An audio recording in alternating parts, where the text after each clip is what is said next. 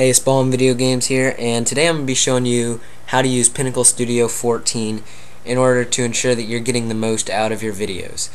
The things I'm going to go over today are how to import your video, the correct settings you should use when importing video, how to fix any lag that you may encounter, adding titles, transitions, music, and sound effects to your videos, and then ultimately how to publish them in either standard definition or high definition. I'll go through both um, the high definition is going to be to upload to sites such as YouTube in 720p. Okay, now once you go to Setup at the top up here, you're going to hit Project Preferences.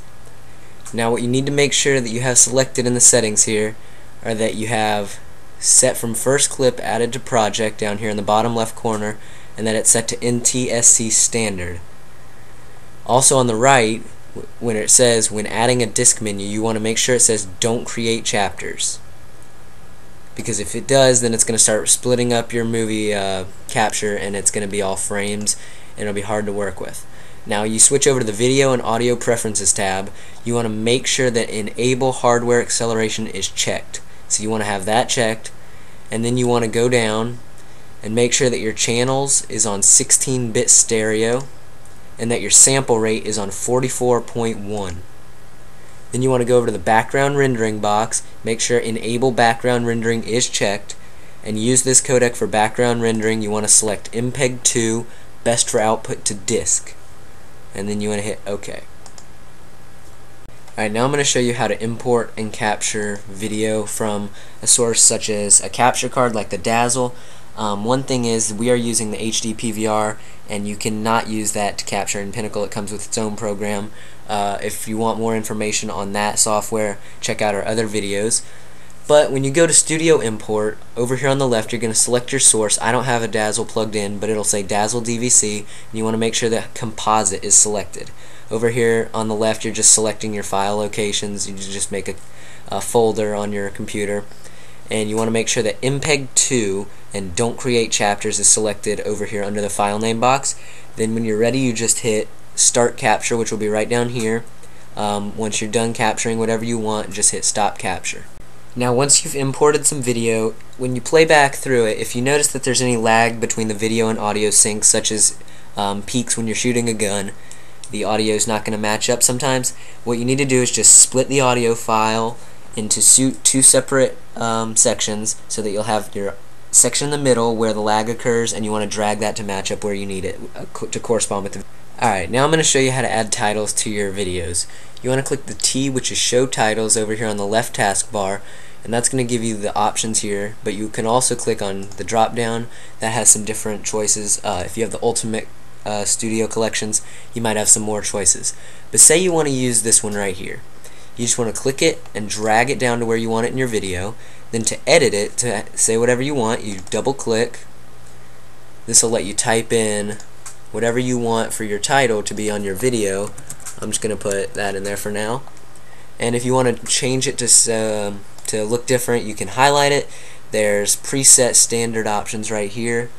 Uh, or you can go to customs and you can change the face color, you can change the edge color, you can make the shadow uh, thicker or lighter, different directions, and all of that to make sure that you get your point across with your Alright, now I'm going to show you how to add transitions to your video so that it just doesn't go from one video clip to the next. As you can see down here, without a transition, it's going to go straight from my title straight to the video.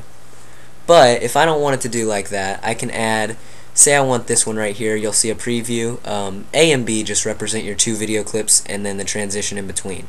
So if I want this one, I'm just going to click it and drag it to the spot in my video where I want and then that's how you add your transition. Alright, now I'm going to show you how to add music clips and sound effects to your videos. This is where you have to be careful because not so much with sound effects, these are preloaded onto Studio, but with if you're going to be using any downloaded music, you have to watch out for copyright if you're going to be uploading this to YouTube.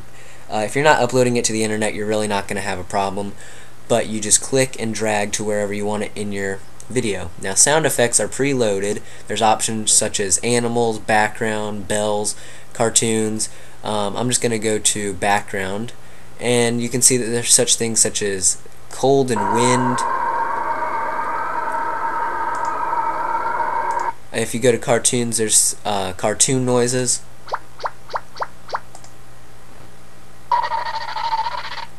And basically, if you want to add one, you're just going to click it and drag down to the music taskbar. Just like that. Alright, now that you've finished your video, it's time to publish it. If you want to publish your video as just a standard definition video, you're going to go to Make Movie, and then File Type is going to be Windows Media, with preset high quality upload NTSC now over here you're going to see the presets are 480 by 360 with 29.97 frames per second.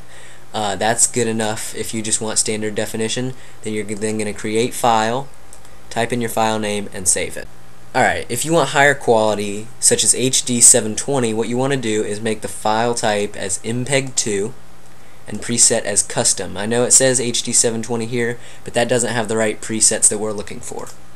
Alright, now you, once you do that, you want to go to Settings and make sure that the file type is set to MPEG-2 with HD 720 resolution and the following options that you see here. In audio, you want to have the compression as MP2, stereo, and the following options that you see here. Um, if you need more help with changing these settings or figuring out which ones you should use, we have a more in-depth video that'll show you exactly which option, options to choose and how to fine-tune to make sure that you're getting the highest quality. If you have any questions regarding specific things that you've seen in our video or advanced techniques that I didn't get around to covering in this tutorial, uh, you can either just let us know on a comment or subscribe and ask us through our channel. But uh, I'll be more than happy to make a video to show you how to do those things. So uh, just remember to comment, rate, subscribe. Thanks for watching, guys.